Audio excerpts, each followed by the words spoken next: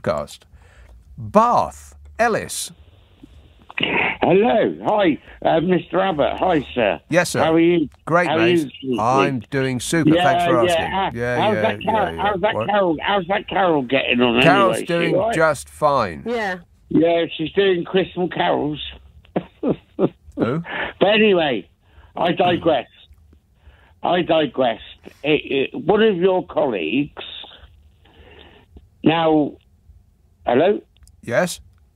Yeah. Anyway, one of your colleagues. Hello. Yeah. yes. Yes. Yeah. Um, Mm-hmm. Shut up.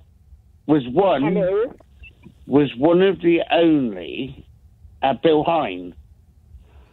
One of my colleagues Wait. was one of the only Bill Heine. Did you just say He that? was, uh, no. Yeah. Yeah. He, the the one and only, the late Bill Heiner Who's that? from. Uh, he's radio presenter from the BBC. One of my Um, colleagues. Well, he was colleague, yes, then.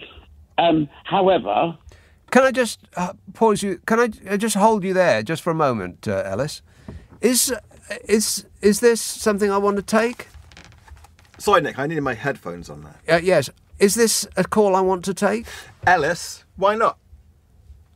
Why not? Well, I've got a whole list of reasons so far. Why not? Okay, Ellis, I, I shoved a shark in my roof. you shoved a shark in your roof. Yes. Well, that makes oh, as much sense as anything else you've said so far. no. Are you, you are you the bloke with the oh, oh, shark? oh. Wait, oh. wait a minute. Wait a minute. Wait a minute. Wait a oh. minute. Pause. Just take a breath. Are you the bloke with the shark on his roof? I put it in there and sold it to Bill Heine from the BBC. Okay, so it's not really getting. Uh, it's not making any more sense. So I'll just leave it there. I'll just drop it uh, by the side of the road uh, like a bag of uh, doggy do, or I'll tie it to a tree like people do, like um, like the world's worst Christmas tree ornament. Why do they do that?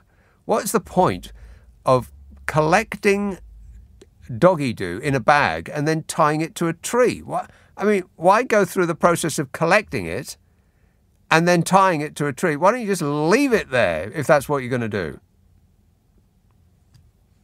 That mystifies me. As much as pretty much anything else has happened on this show so far. And I know it's not my fault.